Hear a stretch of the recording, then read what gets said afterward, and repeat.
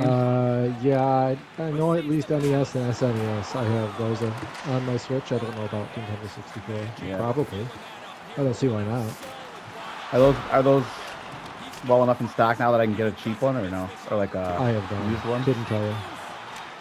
Score! He did it! He Shades! did it! Shades of Beauregard Burp as now Peters hammers it home.